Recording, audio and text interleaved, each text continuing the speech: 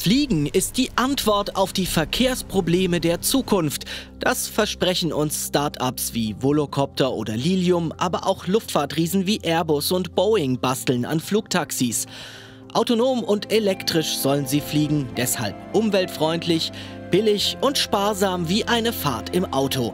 Das klingt zu schön, um wahr zu sein. In der verstopftesten Stadt der Welt, Bogota, hat der durchschnittliche Autofahrer im Jahr 2018 272 Stunden im Stau gestanden. Die Weltbevölkerung wächst und mit ihr die Megacities. Die Infrastruktur kann da kaum mithalten. Für die Wirtschaft ist verlorene Produktivität durch Stau eine echte Wachstumsbremse. Andererseits wächst in Entwicklungsländern mit dem Wohlstand auch der Wunsch nach motorisierter Mobilität. Mehr Autos mit Verbrennungsmotoren sorgen für dicke Luft und belasten das Klima. Da liegt die Antwort scheinbar auf der Hand. Keine Emissionen, keine aufwendige Infrastruktur und praktisch unbegrenzter Raum für mehr Verkehr. Wir brauchen das elektrische, senkrecht startende Flugtaxi. Klar, dass auf diesen naheliegenden Gedanken nicht nur ein heller Kopf kommt. Das spezialisierte Blog eVTOL News listet mehr als 150 Entwicklungsprojekte auf, die mit dem Thema zu tun haben. Doch dabei längst nicht nur neueste Spitzentechnik, sondern auch ein paar richtig olle Kamellen. Der Traum vom Fliegen ist wahrscheinlich so alt wie die Menschheit. Der Traum vom fliegenden Auto ist wahrscheinlich so alt wie der Stau.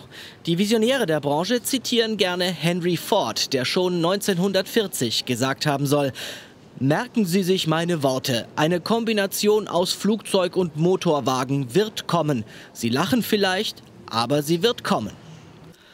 Und hier ist noch einer dieser Visionäre. Paul Moller versucht seit mehr als 50 Jahren ein fliegendes Auto zu bauen. 2003 hebt sein Skycar für ein paar Sekunden vom Boden ab. Mollers Konzept Vier Wankelmotoren treiben vier Propeller an, die in der Luft geschwenkt werden und so für Auf- und Vortrieb sorgen. Die Entwicklung hat Unsummen an Investorengeldern verschlungen und Moller nahm sogar schon Vorbestellungen an. Stückpreis eine Million Dollar. Im Jahr 2019 wirbt Mollers Firma immer noch mit Computeranimationen von fliegenden Autos. Doch mehr als knapp über dem Boden zu schweben, hat keines je hinbekommen. Für die anderen Flugautos und Passagierdrohnen, die heute in der Entwicklung sind, muss das erstmal nichts heißen. Denn es gibt durchaus einige technische Fortschritte zu verzeichnen, die die alten Regeln ein wenig verändern. Elektromotoren haben ein geringeres Leistungsgewicht als Verbrenner und sie lassen sich wesentlich leichter skalieren, also kleiner oder größer bauen. Bei einem Elektroantrieb ist es praktisch egal, ob ein großer oder viele kleine Motoren verbaut sind. Beim Volocopter aus dem Badischen Bruchsal sind es 18 Stück. Weil sie so leicht sind, können die Motoren am Flugzeug da platziert werden, wo sie für den Antrieb am effizientesten sind, zum Beispiel am Ende der Tragflächen. Mehrere kleine elektrisch angetriebene Rotoren sind auch deutlich leiser als ein klassischer Hubschrauber. Das hat mehrere Gründe. Beim Hubschrauber lärmen der Motor, der Hauptrotor und der Heckrotor zugleich und in jeweils unterschiedlichen und zum Teil tiefen Frequenzen. Multicopter hingegen erzeugen Lärm nur in hohen Frequenzen, die sich in der Luft weniger weit ausbreiten als Tiefe. Ein Elektromotor selbst erzeugt fast gar kein Geräusch.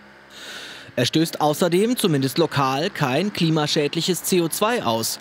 Um das Klima noch zu retten, muss die Energieerzeugung der Welt sowieso in wenigen Jahrzehnten auf Erneuerbare umgestellt sein. Weil die Stromerzeugung aus Wind und Sonne wetterbedingt stark schwankt, müssen Überkapazitäten aufgebaut werden. Strom stünde zumindest zeitweise im Überfluss zur Verfügung, um mit ihm die Akkus der Flugtaxis von morgen zu füllen. Damit man aber Flugzeuge elektrisch antreiben kann, braucht man entsprechend leistungsfähige Batterien. Die Umstellung auf Lithium-Ionen-Technik hat die Energiedichte von Akkus ungefähr verdoppelt, auf aktuell bis zu 250 Wattstunden pro Kilogramm. Das reicht, um Multicopter mit einem oder zwei Menschen an Bord abheben zu lassen. Uber hat seine Pläne für die fliegende Mobilität schon 2016 detailliert ausgearbeitet. Dabei will der Fahrdienstvermittler selbst gar kein Fluggerät entwickeln, sondern sieht sich wie auch am Boden in der Rolle des Vermittlers. Entsprechend führt Uber auch hauptsächlich Ideen und Konzepte von anderen zusammen. Von der NASA beispielsweise stammt die Idee, die Startplätze in Autobahnauffahrten unterzubringen. Auf Gewässern könnten schwimmende Landungsbrücken genutzt werden und auch die Dächer von Parkhäusern böten sich an.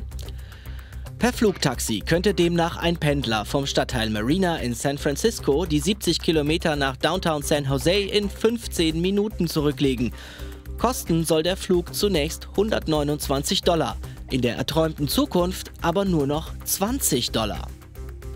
Der Weg zu diesem Spottpreis ist allerdings ganz schön weit, wie Uber selbst zugibt.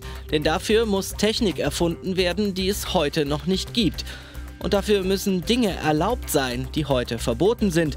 Und vielleicht das Schwierigste, dafür müssen Menschen ihr Verhalten ändern. Tritt auch nur eine Annahme nicht ein, fällt das Kartenhaus in sich zusammen. Die Batterie ist die Achillesferse des elektrischen Fliegens. Batterien haben gegenüber Treibstoffen nämlich eine Reihe von Nachteilen. Bezogen auf das Gewicht speichert beispielsweise Kerosin etwa 14 mal so viel nutzbare Energie. Treibstoff wird zudem während des Fluges verbraucht. Das Flugzeug wird immer leichter, der Verbrauch sinkt. Akkus sind nicht nur von Haus aus schwerer als Tanks, sie bleiben es auch vom Start bis zur Landung. Beim Elektroauto fällt das Gewicht kaum ins Gewicht. Was beim Beschleunigen oder Bergauffahren mehr verbraucht wird, kommt beim Bremsen und Bergab zumindest zum Teil wieder rein. Ein Fluggerät dagegen verbraucht auch beim Sinkflug weiter Energie. Und zwar umso mehr, je mehr Last es mit sich herumschleppt. Zugleich geben leerere Akkus aber auch nicht mehr so viel Leistung ab wie volle. Um bei einem Notfall kurz vor der Landung nochmal durchstarten zu können, muss deshalb eine größere Reserve eingeplant werden. Zudem erhitzen sich Akkus stark, wenn sie stark belastet werden.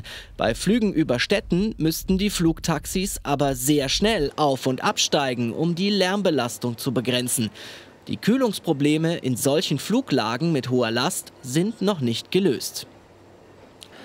Was heute geht, zeigt die chinesische Passagierdrohne Iheng 184. Die hat zwei Sitze, aber eine maximale Traglast von 100 Kilogramm. In der Regel dürfte also nur ein Passagier an Bord sein. Ein Pilot ist nach Meinung des Herstellers nicht nötig. Stattdessen fliegt die Drohne vorab per GPS abgesteckte Routen ab. Die Akkus reichen für 25 Minuten Flug. In dieser Zeit kommt die Drohne nach Herstellerangaben gut 15 Kilometer weit. Das ist selbst für ein innerstädtisches Taxi äußerst knapp bemessen. Das hielt den Hersteller aber nicht davon ab, schon für das Jahr 2017 einen Flugtaxidienst in der Wüstenmetropole Dubai anzukündigen. Also volle Kraft voraus für den autonomen Flug zum Shoppen in die Stadt? Nicht ganz. Es hat seine Gründe, dass es in Dubai auch 2019 immer noch keinen Flugtaxidienst gibt, sei es von Ehang oder von sonst wem. Einer davon sind die Sicherheitsrisiken. An die denken wir nicht, wenn wir in den Ferienflieger steigen, denn beim herkömmlichen Luftverkehr mit großen Jets wird erheblicher Aufwand betrieben, um die Gefahren zu minimieren. Um Kollisionen zu vermeiden, gibt es ein ausgeklügeltes System mit festgelegten Flughöhen und Einflugschneisen, überwacht von menschlichen Fluglotsen am Boden. Die Maschinen sind einem strengen Wartungsrhythmus unterworfen, um technisches Versagen so weit wie möglich zu verhindern. Von den Flugtaxi-Startups findet man keine schicke Computeranimation von den riesigen Wartungshangars der Zukunft, wo die tausenden Drohnen regelmäßig durchgecheckt werden müssten. Zwar steuert die längste Zeit der Autopilot, doch bisher halten sämtliche Luftsicherheitsbehörden der Welt es für nötig, dass zwei Menschen im Cockpit sitzen, die das Ruder im Notfall übernehmen könnten. Denn die Folgen eines Flugzeugabsturzes sind nicht nur für die Insassen meistens verheerend, sondern auch für die Menschen am Boden. Für Flugtaxis, die zu Tausenden über dicht besiedelten Städten herumschwirren sollen, gilt das erst recht. Die Entwickler zukünftiger Flugtaxis drängen stark darauf, die Sicherheitsregeln, Zulassungsbestimmungen und die Luftverkehrsordnung für unsere Städte möglichst schon jetzt zu entwerfen. Dabei ist vieles noch völlig unklar. Schon die Bauformen der derzeitigen Flugtaxikandidaten unterscheiden sich stark. Gleiches dürfte für die Flugleistungen gelten, also etwa die maximale Steig- oder Sinkgeschwindigkeit, die Reisegeschwindigkeit, eventuelle Segelflugfähigkeiten oder die Reichweite. Verschiedene Flugzeugkonzepte sind zudem unterschiedlich wartungsaufwendig und im Falle einer Fehlfunktion unterschiedlich sicher. Sollen die Planer von einigen Dutzend oder einigen Tausend Verkehrsteilnehmern ausgehen? Und wie viele davon sind potenziell unberechenbare menschliche Piloten, die unaufmerksam sein könnten, müde, krank oder Selbstmörder? Den Menschen ganz vom Steuerknüppel zu verbannen geht sowieso nicht. Rettungshubschrauber, die Polizei oder auch Freizeitflieger werden auch in Zukunft mit menschlichen Piloten unterwegs sein. Das erhöht die Anforderungen an Autopilotensysteme, für die ihrerseits bisher auch nur die Vorstellung eines Zulassungsverfahrens fehlt. Funktionierende Regeln wären aber vom Start weg nötig, wenn das Flugtaxigeschäft schnell abheben soll. Ansonsten wären die Nachrichtensendungen schnell voll von erschreckenden Flugtaxiunfällen mit Toten und Verletzten. Das dürfte die Nachfrage nach diesen Verkehrsmitteln deutlich dämpfen. Flugtaxi-Startups, aber auch die Luftfahrtriesen Airbus und Boeing gehen ohnehin davon aus, dass ihre elektrischen Fluggeräte zunächst für längere Zeit von einem Piloten gesteuert werden. Das aber verteuert die Reise doppelt, denn nicht nur muss der Pilot selbst ausgebildet und bezahlt werden, er nimmt auch noch einem Passagier den Platz weg. Damit das Flugtaxi einen Massenmarkt erobert, muss es billig werden. Die Uber-Vorhersage von 20 Dollar für einen 70-Kilometer-Flug basiert auf einer Reihe von Annahmen, die über die technische Machbarkeit hinausgehen. Heutige Autofahrer müssten sich vom Individualverkehr verabschieden. Ein fahrendes Auto transportiert im Durchschnitt rund 1,5 Personen. Zukünftige Flugtaxis werden wahrscheinlich eine vergleichbare Transportkapazität haben. Uber geht von vier Personen aus. Damit sich das Fliegen rechnet, müssen alle Plätze besetzt sein. Das schließt ein Modell wie beim Busverkehr aus, sondern erfordert, dass so gut wie alle Flüge spontan am tatsächlichen Bedarf ausgerichtet werden. Der innerstädtische Flugverkehr wird also eher situationsbedingten Fahrgemeinschaften ähneln. Auf der Straße heißt dieses Konzept Ride-Sharing oder Ride-Pooling. Letzteres wird von Anbietern wie Clever Shuttle oder der VW-Tochter Moja auch in Deutschland in Pilotversuchen getestet. Doch dem gehypten Konzept hat in der Stadt längst das Carsharing den Rang abgelaufen, bei dem das Auto zwar von vielen Menschen genutzt wird, aber eher nicht gleichzeitig, sondern abwechselnd. Über Land bieten sich Bahnen und Fernbusse an. Die rechnen sich auch, wenn sie nicht voll besetzt sind. Auch hier ist der Marktanteil von Ridesharing-Anbietern wie BlaBlaCar am Gesamtverkehr mikroskopisch. Flugtaxis sind aber noch aus einem anderen Grund auf Nachfrage angewiesen.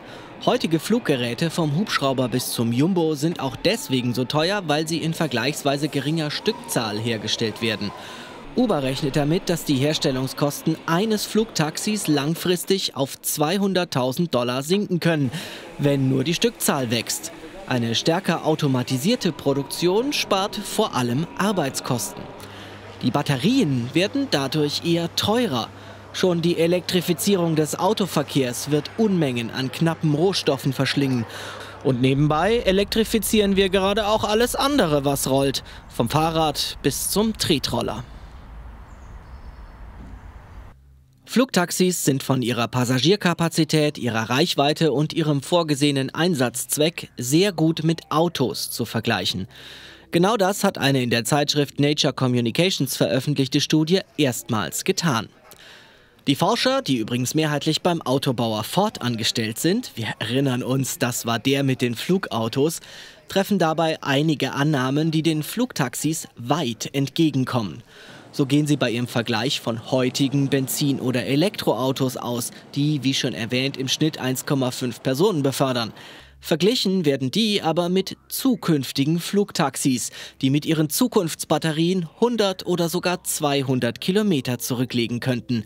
Außerdem rechnen sie damit, dass die Flugtaxis vom Start weg mit Pilot und drei Passagieren voll besetzt unterwegs sind. Das ist das am Boden weitgehend bedeutungslose Modell Ridesharing. Doch selbst unter diesen Bedingungen kommen sie zu dem Schluss, dass Flugtaxis in Zukunft höchstens eine Nischenrolle im Verkehr zukommt. Das liegt daran, dass der Energieverbrauch für Start, Schwebeflug und Landung bei kurzen Flugdistanzen massiv ins Gewicht fällt. Und noch geht der Energieverbrauch auch mit CO2-Ausstoß einher. Diese Grafik vergleicht die CO2-Bilanz von Flugtaxis, Verbrenner und Elektroautos im Verhältnis zur Wegstrecke ohne Rücksicht auf die Passagierzahl beim heutigen Strommix. Und siehe da, bis ungefähr 35 Kilometer ist das Flugtaxi die Umweltsau unter den dreien. Die Passagierdrohne von eHang ist mit ihrer Reichweite von 15 Kilometern ein krasser Energieverschwender. Erst wenn die Batterieladung für längere Flüge reichen würde, überholte das Flugtaxi zumindest ein herkömmliches Auto.